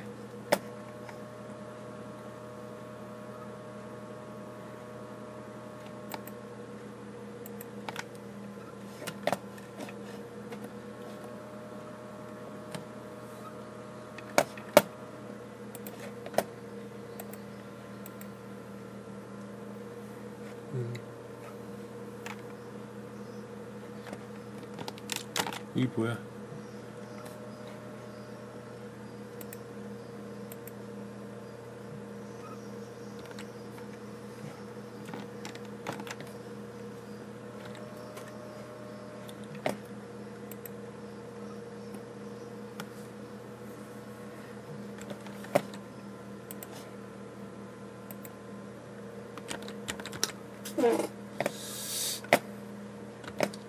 좀 거부를 많이 하네요. 누구를 하겠습니다.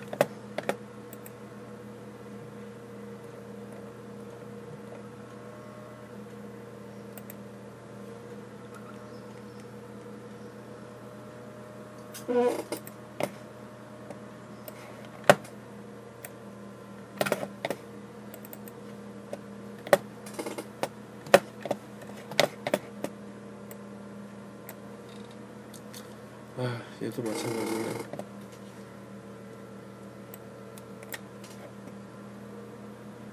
얘도 버벅거리는 건 마찬가지네요.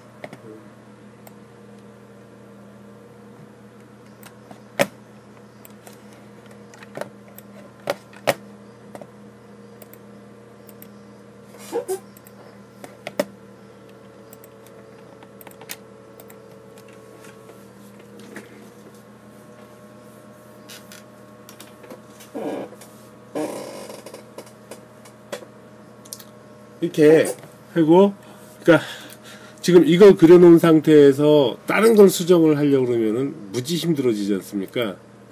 네, 그래서 이렇게 따로 만들어 놓고 그거를 이제 부, 불러와서 링크를 걸어 놓는 겁니다. 여기다 이제 그러니까 따로 조경도 따로 작업하고 뭐 주차장도 따로 작업하고 그뭐 이런 도로도 따로 작업하고 뭐 기타 시설들 다 따로 작업해가지고 따로따로 불러서 해놓으면은 수정을 할 때 얘 같은 경우에는 이제 뭐냐면은 요거를 두 번 클릭을 하면은 두 번 클릭하면 되나? 링크 원래 원본 링크로 되는데 이게 원래. 음 이게 좀 복잡해서 그러는데 요 어디 갔어 열기. 열기에 들어가면은 아까 이제 했던 게 이게 프로젝트 3이지 않습니까? 예 요거는 이제 저장된 거고. 요거 3을 불러들여서 요거 수정을 하고 또 다른 거 뭐 관련된 것도 따로 불러서 수정하고 수정하고 수정하고 그러고 나서 이 전체 배치에 들어와서 다시 읽어보면은 그 수정된 게 이제 엑스리프처럼 바로바로 반영되니까 그대로 이제 그 전체를 단지 전체를 수정을 할 수가 있습니다. 이제 그거를 이제 일종의 그 네트워크 작업이라고 할 수가 있겠죠. 이 단면에 대해서 손보는 사람 따로 하나 있고 조경에 대해서 손보는 사람 하나 따로 있고 따로 있다면 각자가 다 작업을 했는데 PM이 이렇게 전체적인 거를 가지고 조합을 하고 배치를 하고 이렇게 조정을 해주면은 그다음부터는 이제 작업이 많이 편해지겠죠. 뭐 여기까지 왔으니까 렌더링이나 한번 걸어보죠. 렌더링 하는 동안에 요것도 시간이 걸릴 테니까 잠시 어 저거를 녹음을 멈추겠습니다. 예, 어, 렌더링이 지금 끝났습니다. 그 보시면 알겠지만은 글쎄 효과는 모르겠습니다. 여기에 이제 또 뭐 지붕층 들어가고 뭐 어쩌고 뭐 여러 가지 조정을 하면은 이제 괜찮아지겠죠. 일단은 그 모델링이라는 게 이제 그런 것 같습니다.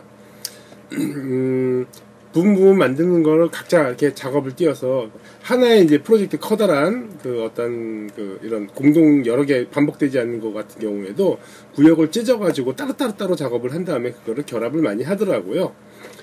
어쨌든 중요한 거는 이제 자재, 재질 뭐 이런 것들 그런 거를 넣어줘야 되는데 이제 겨, 결정적인 건 이제 뭐 벽체 두께나 뭐 이런 걸 통일을 해줘야 되죠. 그런 거를 이제 레빗에서의 PM이 이제 해야 되는 역할일 겁니다. 이렇게 해서 PM은 하나로 모아서 그러니까 요게 이제 장점일 수도 있어요. 그 팀원들이 각자 맡은 분야를 작업을 할 때 수시로 팀장은 그 링크를 받아들여서 끌어와서 그러니까 밖에서 작업을 해서 내가 여기서 업데이트만 해주면 되니까 업데이트 해주는 걸 해서 수시로 작업을 해주면서 어떤 코치를 해줄 수도 있고 방법이 있겠죠. 결정적인 거는 PM이 뭐 성격이 급하다든지 아니면은 또 뭐 건축주하고 약속을 뭐 타이트하게 잡는다든지 뭐 아니면 뭐 일 많이 하는 욕심을 부린다든지 뭐 이런 식으로 했을 때는 그 팀장도 피곤해지고 팀원들도 피곤 그 아마 피곤해질 겁니다. 아시겠지만은 이 절차 작업은 BIM은 전부 다 다 이 시공과 관련이 돼 있는 부분들입니다. 그러니까 시공 전문가가 한다는 얘기가 아니라 모든 일은 시공 절차에 따라서 이 그 설계를 하게 돼 있기 때문에요. 건축 설계하듯이 막 머릿속으로만 생각하고 뭐 무슨 호그 같은 마법 학교에 있는 것처럼 말로만 하는 그런 거 가지고는 이게 절대로 될 수가 없어요.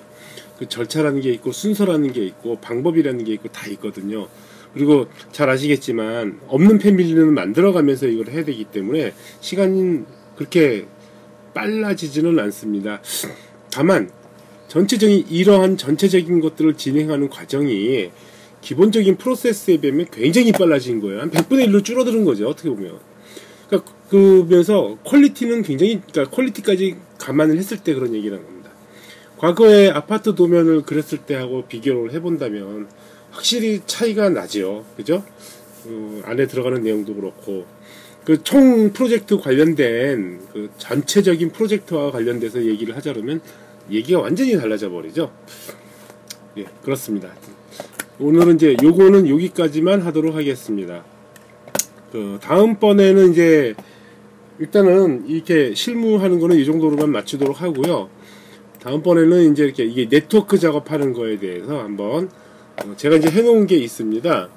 뭐냐면 이제 어쩌다 보니까 회사 일을 하다가 보니까 이런 네트워크 작업을 할 수밖에 없는 상황이 제가 벌어졌었어요. 근데 실패를 했습니다, 사실은. 실패를 했다고 봐야 되는 게 이게 이제 그 도시형 생활주택 배치 관련된 거였는데 요거를 이제 한 과정에 대해서 제가 한번 딱 설명을 한번 하도록 하겠습니다. 자, 오늘은 이제 요거는 여기까지만 하고요. 제가 이제 설명을 또 하나 이제 드려야 되는 부분들이 있는데 이거는 이제 뭐냐면은 지금 이제 Autodesk Revit 예, 한번 들어가겠습니다.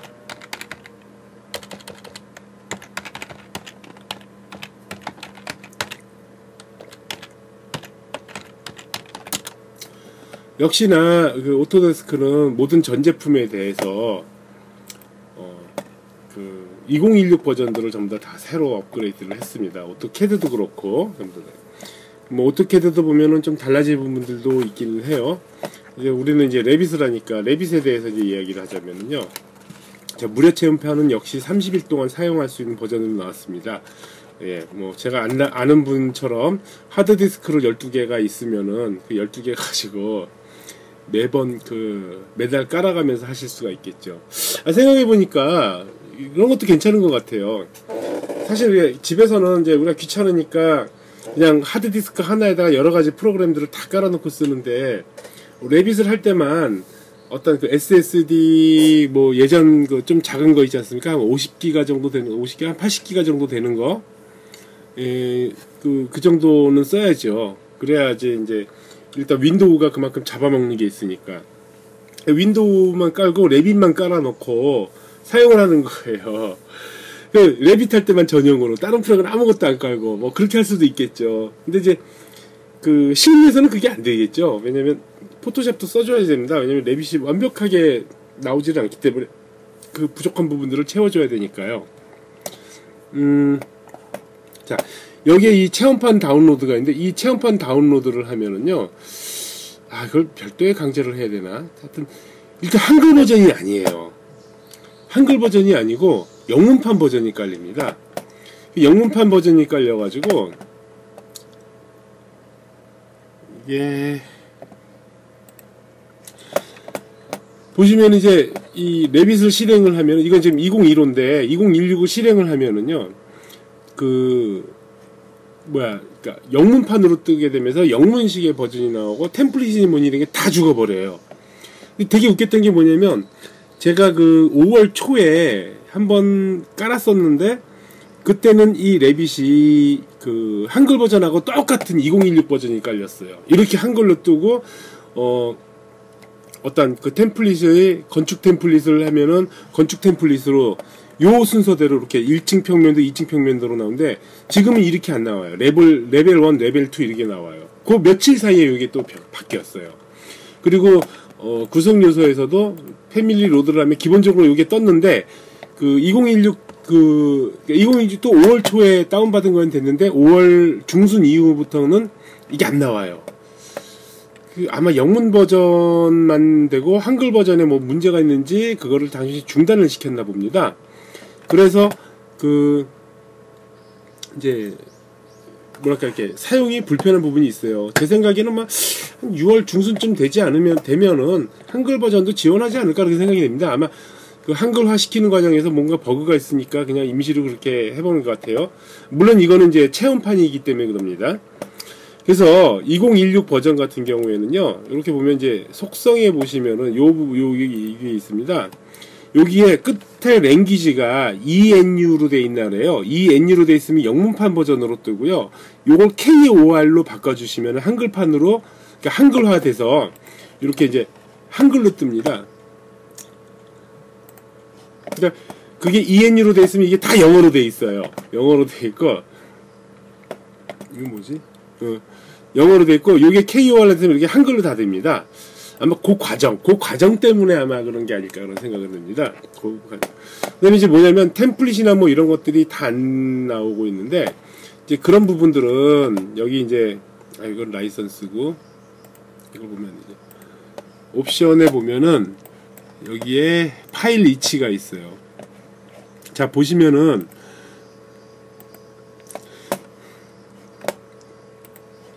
자 이렇게 그 Program Data Autodesk Revit template Korean 이렇게 돼 있어요. 근데 이 Korea가 없어요.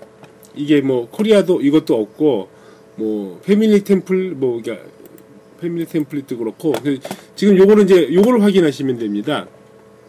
얘가 지금 이제 찾는데 음 template의 기본 경로 요거 요거를 그러니까 뭐냐면 이제 이거 자체가 없다 보니까 2015 버전에서 요거를 카피해야 됩니다. 그래서 보면 Program Data Autodesk Revit Revit Server Revit Server는 아니고요. 이게 아니지. 응, RVT. 이게 왜, 왜 이렇게 여러 개가 있지? 저도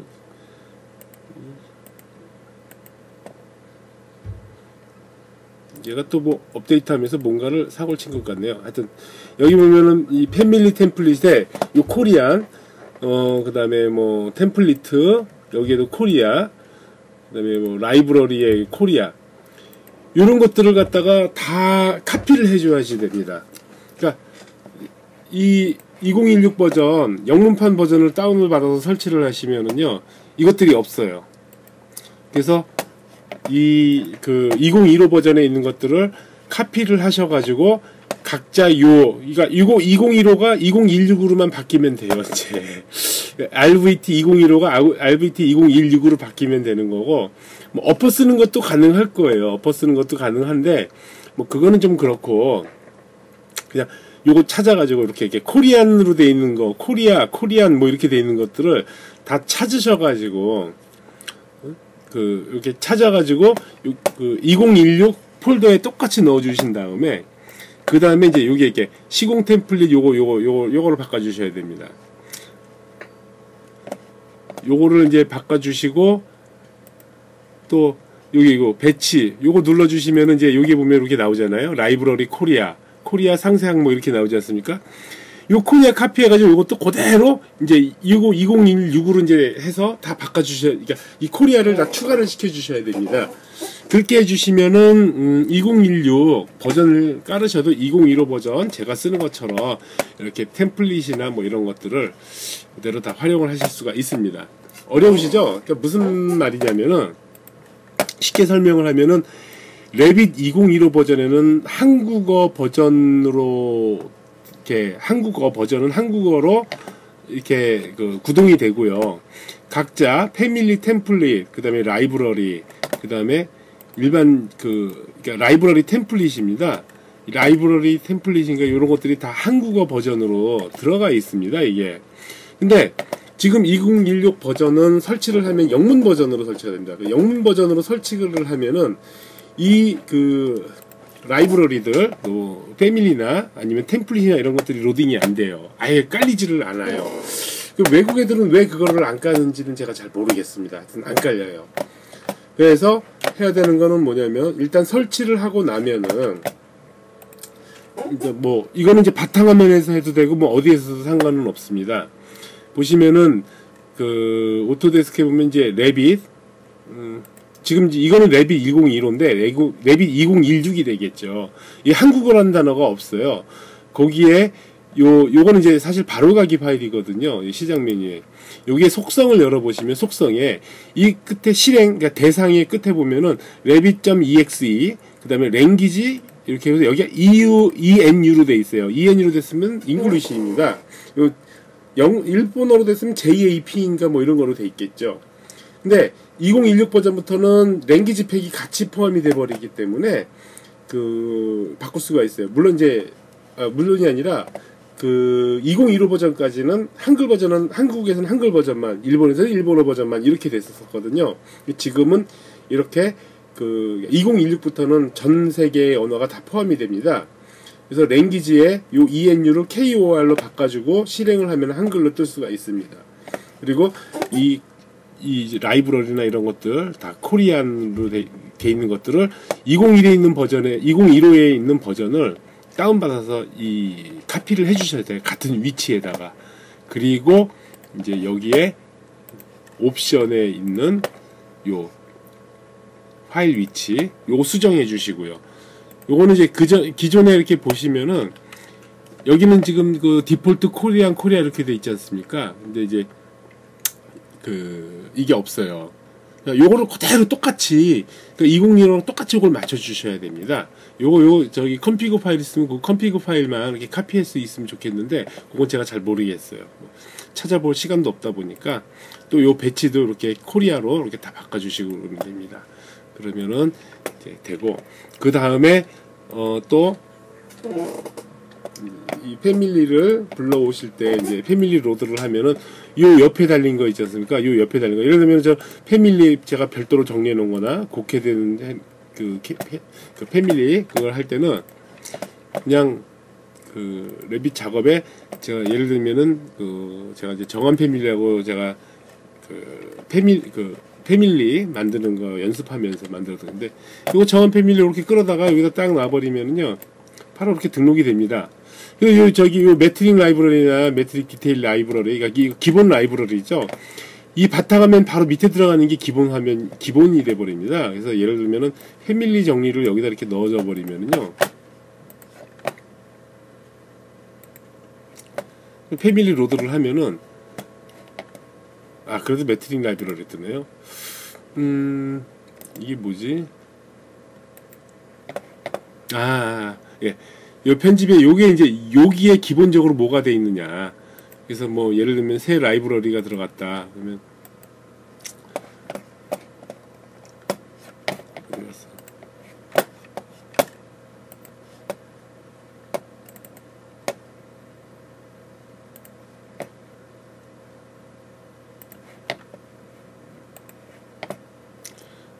예, 이렇게 해서 요거를 맨 위로 올려버리면은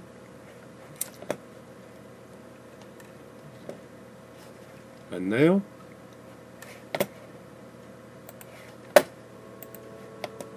그러니까 이게 제가 만들었던 이 패밀리가 기본적으로 이제 이 매트릭 라이브러리에 이제 등록이 요게 아요 요 매 이게 아니에요. 이 뭐야 이거 왜 이래. 하여튼 그렇게 해서 이렇게 들어갑니다. 아이 뭐야 왜 이래 배치 편지. 예. 근데 저는 이제 이거는 필요 없으니까 이거는 그냥 빼버리고요. 이렇게 들어가고요. 그 다음에 여기 family에도 리스트에 쓸데없이 들어가 있는 거 요거 제거해주고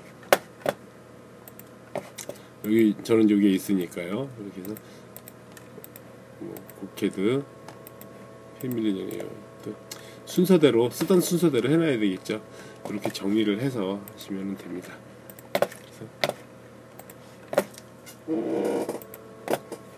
오늘 강의는 여기까지만 하게, 하도록 하겠습니다. 아유, 지루하셨습니다. 오래, 저도 오랜만에 했는데, 이, 이거 뭐 시간, 한 시간 반? 아유, 한 시간 반을 갖다 강의를 했네요. 제가 좀 바보짓 한 거 아닌지 모르겠습니다. 오늘 강의 어떻게 즐거우셨는지 모르겠네요. 오랜만에 한 거였는데, 다음에는 좀 더 즐겁게 할 수 있도록 한번 노력해 보겠습니다. 지금까지 들어주시느라고 고생 많으셨습니다. 감사합니다.